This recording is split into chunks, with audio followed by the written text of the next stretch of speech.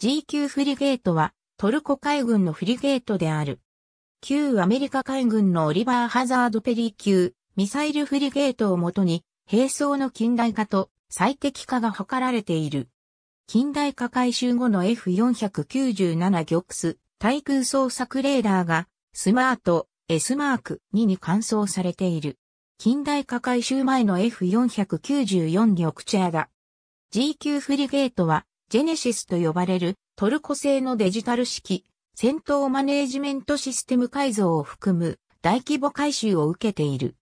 ジェネシスはトルコ海軍とトルコのソフトウェア会社ハビルゼンが共同開発したもので、2007年から2011年にかけてジェネシスソフトウェアのアップデートが行われる予定である。ジェネシスは先進的な戦闘マネージメントシステムであり、以下のような特性を有する。この他にも以下の要素が回収計画に盛り込まれている。マーク 41VLS はオーストラリア海軍のアデレード級フリゲートと同様、マーク13単装ミサイルランチャーの全部に搭載される。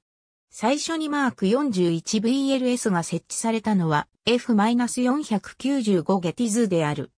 また G 級フリゲートはペリー級の中でも前期型に相当する short hull 型であるため、艦載機の運用能力向上を目的に Aircraft Ship Integrated Secure Traverse を装着する改修がイスタンブール海軍工廠にて行われた。